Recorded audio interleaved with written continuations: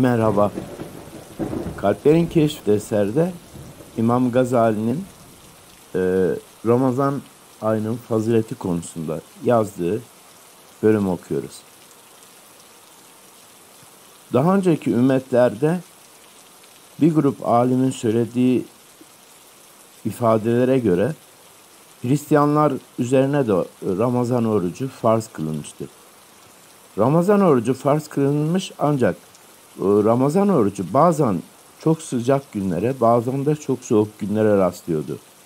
Yolculuk sırasında ve havaların e, sıcak gittiği günlerde hayatlarının bir kısmı safhasında değişerek devam ediyordu Ramazan orucu. Bu onlara zor geldi. Sonra ileri gelenleri orucu yazla kış arasında bir mevsimde tutalım diye karar aldılar.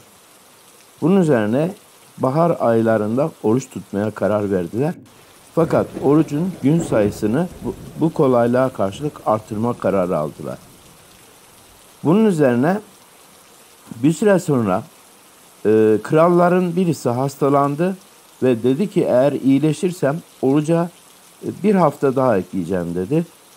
E, adam iyileşti. E, iyileştikten sonra da baharda tuttukları oruca bir hafta daha eklediler. O kraldan sonra başka bir kral e, yerine geçti. O da orucu 50 güne çıkarın diye emir verdi. Daha sonra e, hayvanların çok ağır telef olduğu bir bulaşıcı hastalık salgını geldi.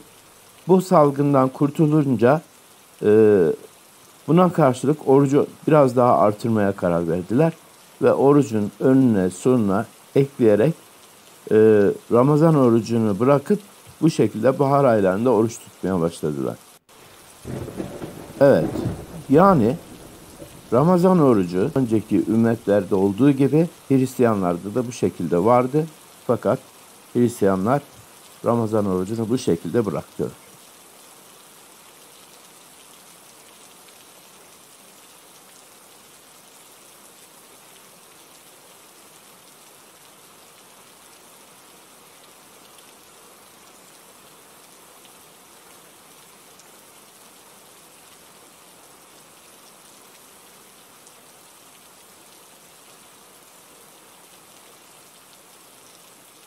Thank you.